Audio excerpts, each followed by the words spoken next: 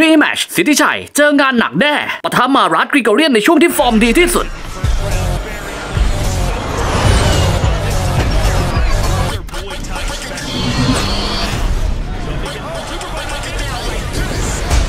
เพิ่งจะเห็นโปสเตอร์ว่ามารัตกริโกเรียนจะเจอกับสิทธิชัยใน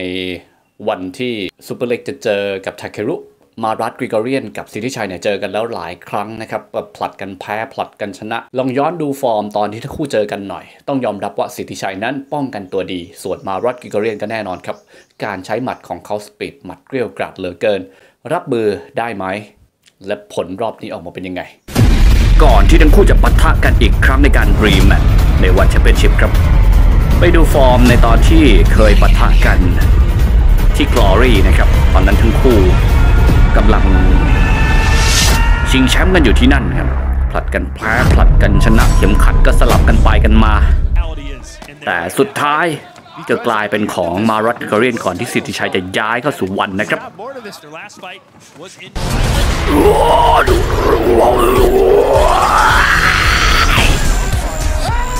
นี่ครับหนึ่งสองนี่คือช็อตอันตรายนะครับเกิดใครจะดูคลิปเต็มที่ Glory นะครับ เข้าไปดู นี่ยกสองก่อน อือหืออีหวด As expected, the มา first รัด round โอ้ยโดน โดน โดน โดน over in หมัด China. เมื่อกี้โดนนะ Sidichai getting the three to two decisions. ดูหมัดเวลาเข้าของมารัดเนี่ย Gregorian trains. อัปเปอร์คัตน่ากลัว แล้วก็การฮุกของเขาเนี่ย ดูดิ ไปทั้งตัว แล้วสปีดรวดเร็วจริง ๆ ส่วน hand. ทิติชัยก็อาศัยลูกวางแข้งครับ แล้วก็หมัดหนึ่งสองนี่ก็ร้ายครับเผลอจิ้มเผลอจิ้มนะครับ เทคนิคของสิทธิชัยก็เยอะเหมือนกัน สังเกตดูเนี่ย tonight. เผลอปุ๊บลงท้อง มารัดก็ รอรอหูยสวนเป็นแตะบ้างแต่ว่า อ้ที่น่ากลัวแล้วก็เป็นเครื่องหมายการค้าจริงๆของเขาคงจะเป็นการออกหมัดเนี่ยอย่าเผลอนะครับ โอ้นี่ไงโดนจนได้โดนนับเลย นี่ระดับสิทธิชัยอะโอ้หวดไปเขาสวนน่ะเขาสวนด้วยหมัดอะแทงหุกซ้ายหุกซ้ายครอสขวา ตามด้วยโลคิก Possible 10-8 on one, according to three of the Yok. judges. And in round two, Fell back ดู like ภาพ that. สักนิดหนึ่ง I'm definitely calling Bang. that a knockdown. อื้อหือ called this a knockdown. ดูสปีดหมัดของเขานะครับเนี่ยเร็วมากจนต้องมาดูภาพรีเพลย์ครับ I flashed him out. Like, I เนี่ mean, ย Well, he may โดน very เป็น well ร่วง win ครับ all แม้ว่าสิทธิชัยจะ Now it's right มีพลาดพลั้งบ้างแต่ผมก็ยังมองว่า even saw that in the คนคนนี้ last ป้องกัน fight. ตัว Good ดีมาก knockdown Really changes things. เอีย แทง Nice knee there. โอ้ยการซ้ายของเขามันทำให้เดายากด้วยนะ Yep, now สิทธิ he's ชัย throwing เนี่ย punches into combinations. โอ้โหมาเป็นชุดทีบแล้วก็สวนด้วยหมัด He's ระยะ really นี้โอ้ยมีโอเวอร์เฮดด้วย very ปวดไป rare to see Gregor- เกือบติดกับเลยใช่ไหมเมื่อกี้ไอ้จังหวะเข้าประชิดเมื่อกี้ Back to a southpaw. เขากะจะสอดแบบฮุกซ้ายเข้าอะของสิทธิชัยนะ Gregor fought. Big, Mm. strong, doesn't move. มารัตนี่ก็ The challenge for a Showtime แหม่ title. เดายาก Now defunct kickboxer. ปวดไป ทีมาจับอืม Yeah, very close. แล้วก็ Well, that หมด moment's ยกไป landed. Brock Gregorian ลุยกันต่อสิ ยกต่อไป โอ้ย Gregorian winning on อันนี้ได้ four cards, and Joe แทง Let's see if he kind of lays back. needs a knockdown to get ดูดิ back in ระยะ this. เนี้ย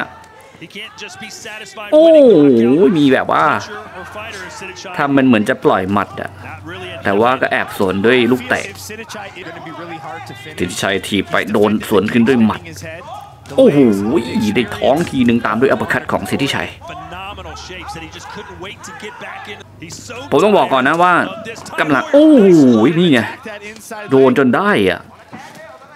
ร้ายจริง ๆ มีลูกแบบเทคนิคแบบนี้ เจ้ามารัตเนี่ย Gregorian's night.